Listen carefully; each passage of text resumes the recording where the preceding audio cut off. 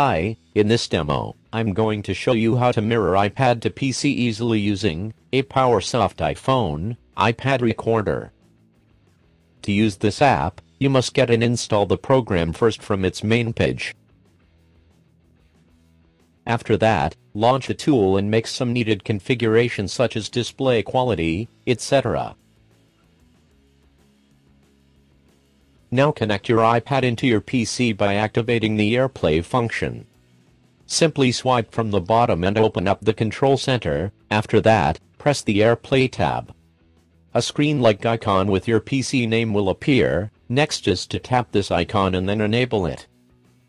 Just wait for a second and your mirrored iPad screen will be displayed. Now open a game and play at your will.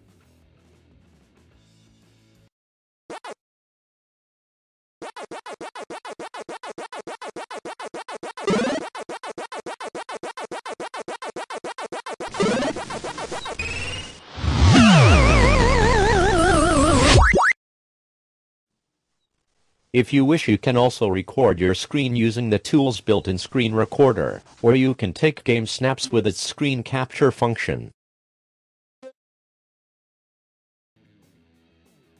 With this tool, you can mirror screen, record, and take screenshot in one.